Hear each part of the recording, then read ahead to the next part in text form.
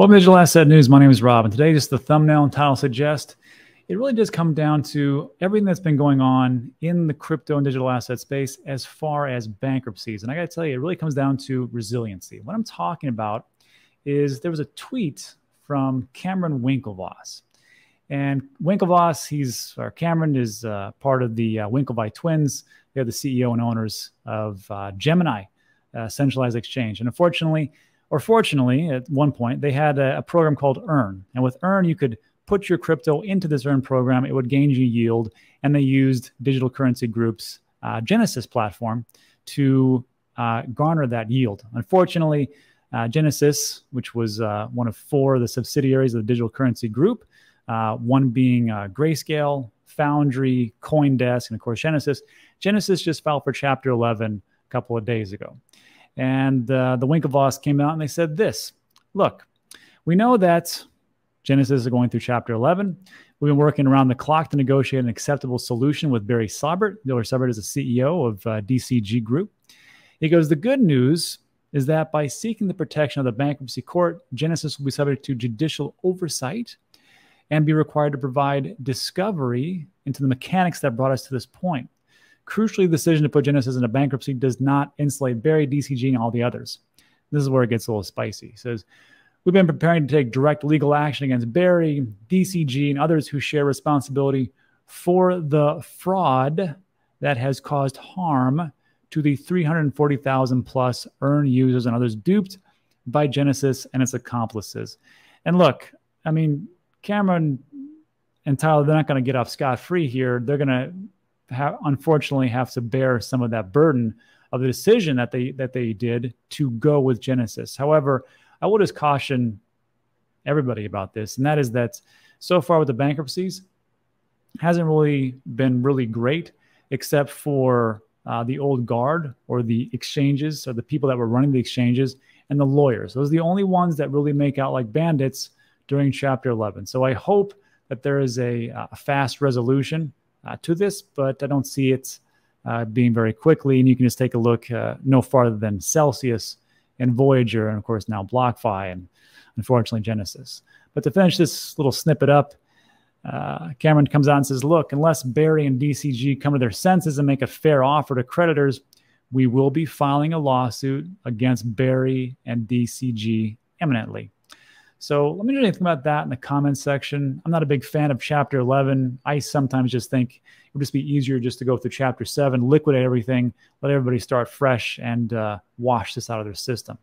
And speaking of chapter 11 and bankruptcies, this is uh, John J. Ray. He is the new CEO of FTX. And he was speaking before Congress and he talks about how uh, FTX could restart very soon. And what he's talking about here is he's saying, look, he goes, we're looking at the possibility of reviving the bankruptcy crypto exchange, FTX, as we work to return money to the failed company's customers and creditors. Again, I'm not a big believer in Chapter 11 and them, you know, getting out of it. And uh, it's going to be very hard to return that money when, unfortunately, the United States government lays claim to 700 million. Here's what happened. This just came out uh, today. U.S. government wants to take control of the nearly 700 million of assets it seized earlier this month. This is included in the property are over 55 million Robinhood shares worth a half a billion that was bought with Alameda money. And this is at the center of a fight between Bankman Fried, FTX, and BlockFi. Officials are also moving to claim 171 million in cash from a series of bank accounts linked to Bankman Fried's web of companies. And this is a statement from a U.S. government lawyer. He states, We believe that these assets are not property in the bankruptcy estate, meaning we believe that those assets, which were your assets, is now ours. So again, I don't see how this is going to uh, be a very good news moving forward. But I will just say this resiliency. If we can just take a look here, out of all this news, and it's not the most positive news, let's be honest, over the last week, 10 days, we've seen Bitcoin rally. We've seen the crypto market rally. Bitcoin in the last seven days is up 17%, Ethereum 14%, uh, XRP 7%. Solana, the big winner, I think, right now, 13.6 and 40% for the week. OKB, I don't know why they're going up. It makes no sense. Another crypto project linked to an exchange. I'm not going to be into that. But again, very resilient. And if we take a look at the four year cycles, which I still believe in, the reset years, which are two years after the all time highs, and this happened in 2021, we had an all time high, then a dip, 2022, brutal, then a reset. Same thing happens last four year cycles. We had a halving, all time high, dip, and a reset. Look at that reset here. Look pretty good. And even if we go back to the reset year for 2015, it was still sideways with some, you know, nice little peaks, but not huge drop offs until we hit to the uh, the reset years, and then also for, of course, the halving years. We can see that just in 2020, the halving year was looked pretty good.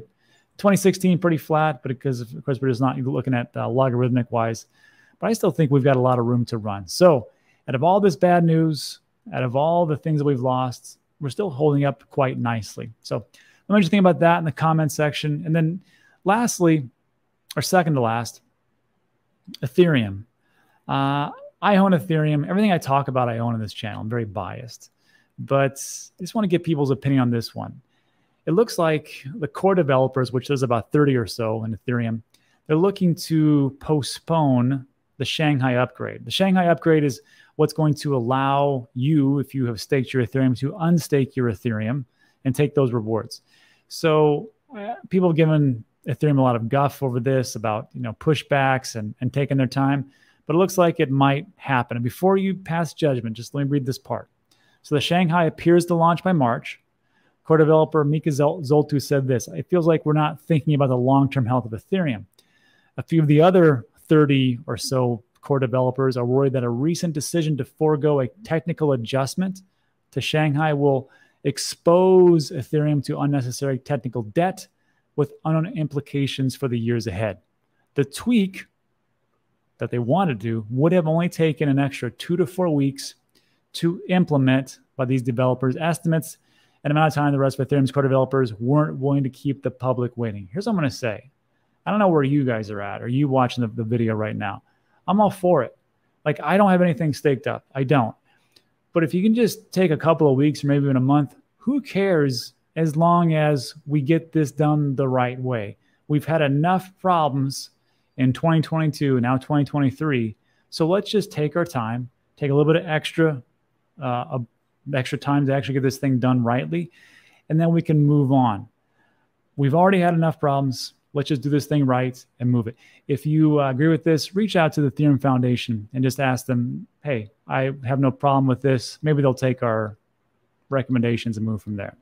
And lastly, I, I know uh, in this bear market, it's like nothing's really going on. I'm going to take a look at and get back into some what I call some degen plays.